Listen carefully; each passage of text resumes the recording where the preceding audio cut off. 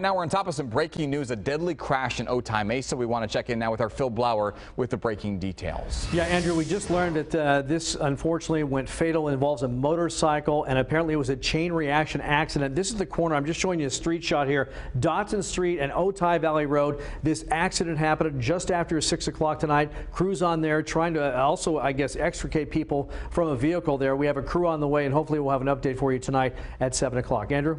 All right, Phil. Thank you.